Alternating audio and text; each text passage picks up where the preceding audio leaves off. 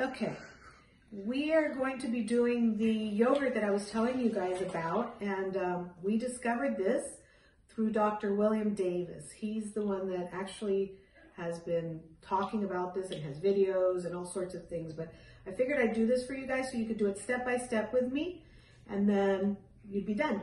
So you're gonna need this um, probiotic. It's from Bio, from the brand is BioGaia, and you can get it online. And because you want this combination of um, probiotics, which is L. reuteri Gastrus blend is what it is, okay? So you can get it online. And you're gonna need inulin, not insulin, inulin, because there's two different things. Inulin is a prebiotic, and this is what the probiotic is gonna feed off of instead of sugar. Because really, actually, the point is you're eliminating almost all sugar out of it with, with this.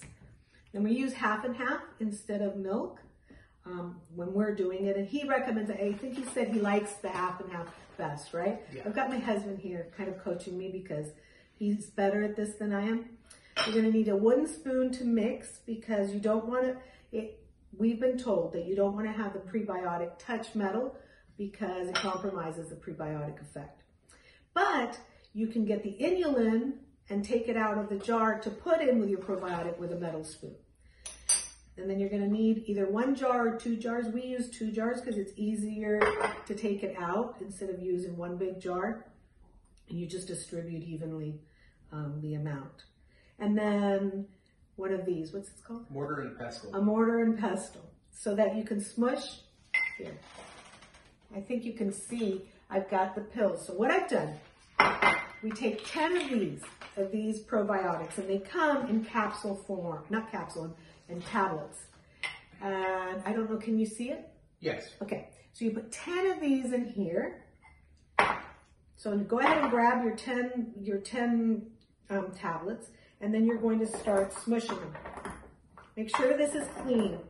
Also, we what we did was we put the jars in the microwave so that um, they would sterilize. So the first time you do this, you want to make sure that your containers are sterile when you put that in. Um, so you're going to keep smushing it till it's all like pulverized, right? You don't want it to be in little chunks, right? Yeah, you may want to put water in the jars first too before you put them in the microwave so that it steams them and, and you get that sterilizing effect. Okay. It's not as good as boiling them, but it'll do a pinch. Okay, so in case you didn't hear that, you want to put water in them. You want to wash them out and leave, you know, whatever water's left in them and then put them in the microwave. Don't put them bone dry in there. And then we put both these jars in there for about two minutes. And that did the trick. You, you also, you could actually boil them if you want, but the microwave seems to be an effective way of doing it. So I'm going to keep doing this so that I make sure that I have no clumps because you don't want clumps. You want to make it as powdery as possible, right? Correct. Okay, so keep doing this. We're doing this together. So let's just keep doing this. Making sure that we get out all the clumps, all little tiny pieces. Try to make it as powdery as possible. Okay, I think this is good. Here, let me show Mark and check with him and see what he says. Is this good? Yeah, I think that's fine. Okay, so let me show you. This is how mine has turned out. Can you see that? Yes. Okay, so it's powdered. It's not perfect, but it's mostly powder, okay? And so now what I'm going to do is I'm going to add two teaspoons of this inulin. Remember, it's inulin, not insulin, okay? I-N-U-L-I-N. Let me get the powder off of this. And where can you buy inulin? Inulin, I, uh, we actually, I think we got it at Mother's. Okay, But on you can get it online on Amazon. Um, now is a really good brand, so you know, go with that. I would anyway. So I'm going to use the end of my spoon to get whatever's left on the what is this one called? Mortar and pestle. Is this the pestle? I believe it is. Uh, I believe I'm not it sure. is. Oh, whatever this thing is. I am taking as much of the stuff of the probiotic off as possible. I'm just to put it right here. And then I'll just leave this leaning here like this. Then I'm going to take, I can put metal in the prebiotic. I just don't want to put it in with a probiotic. So I'm going to take two teaspoons And it doesn't have to be exact, as you can tell. I'm just kind of eyeing it, right? And I mix it with um, the probiotics. I'm going to use the end of the wooden spoon to do that. Just kind of combine it so that it's not all sitting clumping in one place. And then we're going to take some of the half and half, right? Correct. Okay. So we take some of the half and half, not a lot, just a little. Maybe a half a cup, maybe. Okay, let me show Mark, see if I got it right. It's not critical. Just so you make a slurry. Like that? Yes. And the reason you're making the slurry is to mix it so you don't have inulin and, and everything clumping up. It needs to be evenly dispersed throughout the mixture when you make your yogurt. Okay, so did you hear that? About half a cup. And the reason you're putting in the, um, and making the slurry is so that it all mixes together and it doesn't clump. So here, I want, I want to show you what we have here. Can you see it? Uh, there you can see it a little better. Like that? Yeah, close Okay. enough. Alrighty, so this is about half a cup. And you just mix and mix, mix. Don't let it clump, meaning you don't want to have the clumps because then you're gonna wind up with uneven amounts of stuff, right? You wanna have the inulin and the probiotic, um, mixing and declumping. You don't wanna have, like mine's really clumped right now. And so I need to make sure that it all dissolves. And it's not wanting to dissolve. It's really clumping. So you just keep mixing it. Keep mixing and mixing and, and kind of doing what you did with the mortar and pestle, but with the end of the spoon. Why I use the end of the spoon? I don't know. I guess there's just less surface taking up as opposed to the big surface of the spoon. Um, but you could do it either way. You know, it doesn't really matter. Just make sure that you're not using a metal spoon. And why isn't this declumping? It's all clumped together. Well, when I first tried to do it, we put it in a blender thinking it would be so much more effective, but that really did not turn out. So do not use a blender. You wanted to use this by hand because the blender has the metal blades, right? So it's actually not good for the probiotics. You want to do this as as um, least mechanically as possible and just use your own um, tools in the kitchen and not electric tools, but just do everything manually. Um, and then the other thing is, once we've done this, you're not going to have to use the pills anymore. What you do is you save like two tablespoons of, um, of yogurt, and then you will mix that with your inulin, and then um, make it that way. You don't even you need you don't need to buy those pills anymore. You never need to buy the probiotics anymore. You just use the inulin because you need to feed the probiotic, or I mean the uh, yogurt.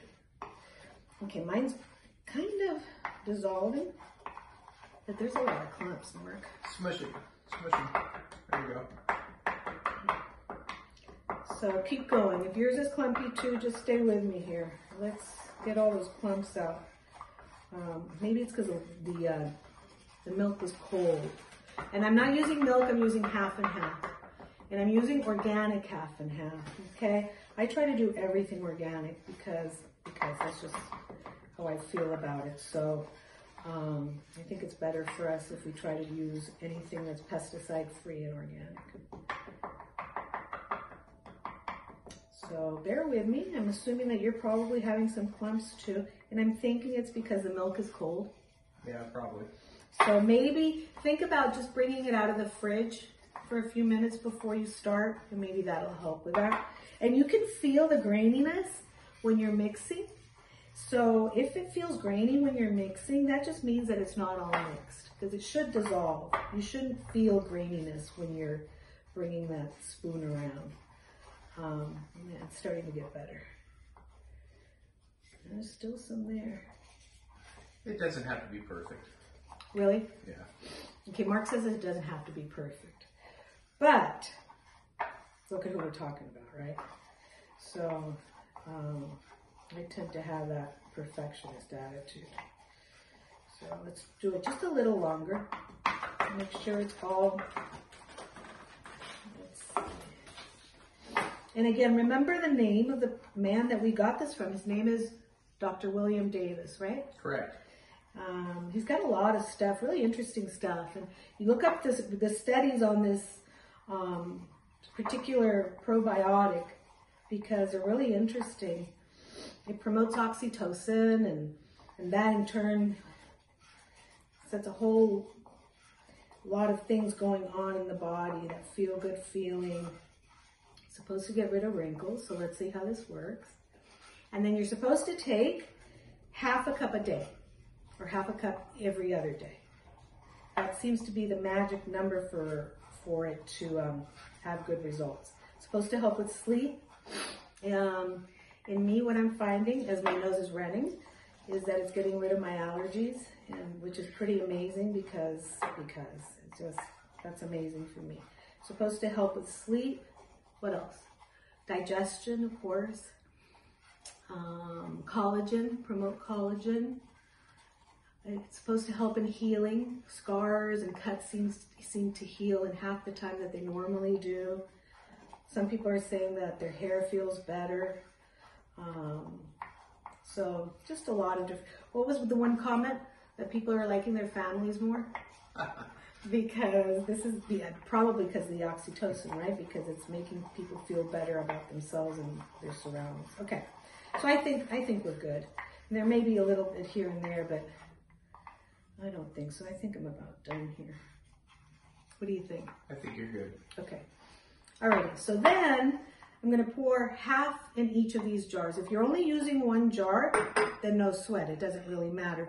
But if you're using two jars, try to make it an even spread. So I'm going to pour half in here and the other half in here. And yeah, it did, it declumped. I think I'm pretty good. All right.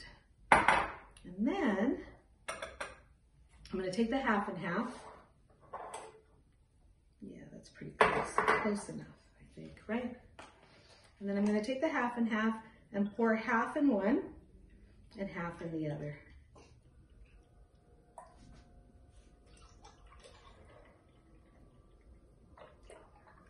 Oops.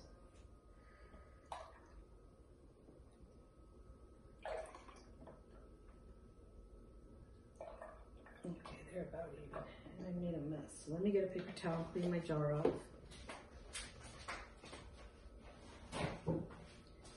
And that's it, guys. We are done as far as the mixing and all of that. Uh, we want we want to mix it again Oh, that's now right. That's make right. sure that it's all so that that slurry that you did evenly. Okay, yeah, that's a, actually a really important part. See, that's why I needed Mark here because I forget these things. I'm not really good at those details. So, that's it. You mix and mix and mix because you wanted to make sure you want to make sure that all of the half and half has every little bit of, of probiotic and well the slurry and prebiotic. Because if you don't, what can happen is it just won't turn out right. It just won't come out as yogurt for you. Okay, so here's the deal. When you first do it like this, when you're not using starter, it may come out kind of like cottage cheesy.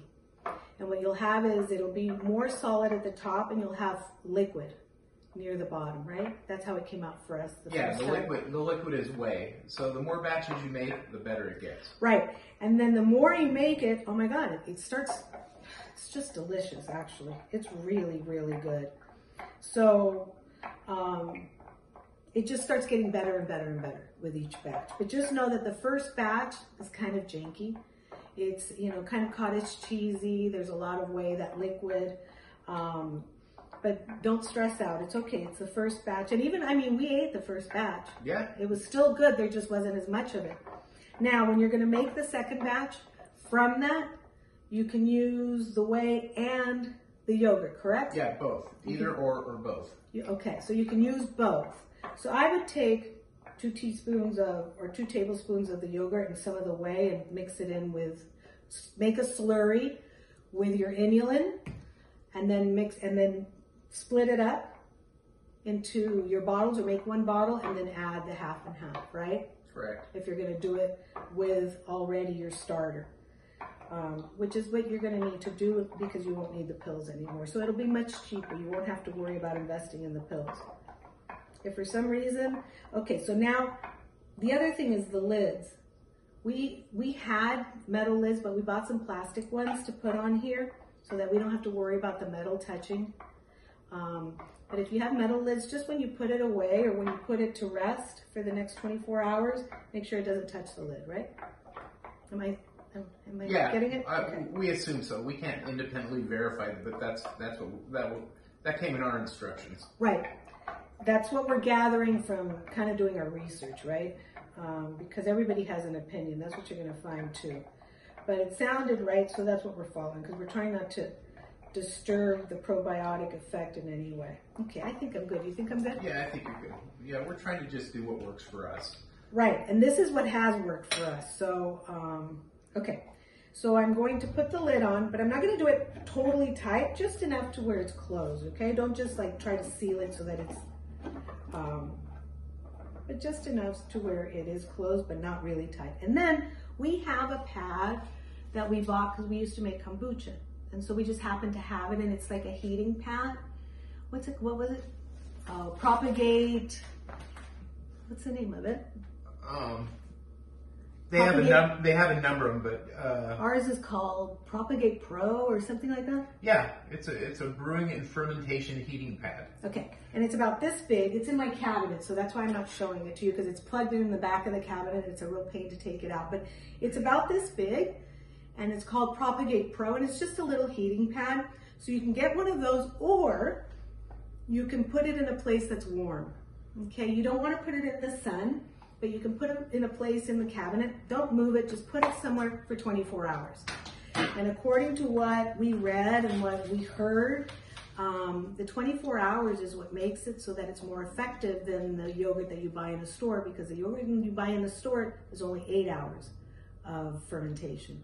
Yeah, but you don't want to. You also don't want to let it go too long, Right. otherwise it'll it'll eat. You know, it'll eliminate the benefits of the probiotics. It sort of tends to eat, burn itself out. It eats all the all the uh, starch, and it's not active anymore. Okay, so did you hear that? You don't want to let it go too long. So the magic number is 24 hours, 24 and a half, you know, I mean, but basically 24 hours because what you'll do is overdo it and then get rid of all the benefits of it, right? So, um, so 24 hours and that's it. And then you take it out of where you put it and put it in the fridge.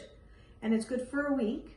Two weeks, I say. Oh, two weeks. It's good for two weeks, but it probably won't last you two weeks. Um, you'll probably need to make another batch and like, well, depending on how many people are eating. But remember, it's half a cup a day per person.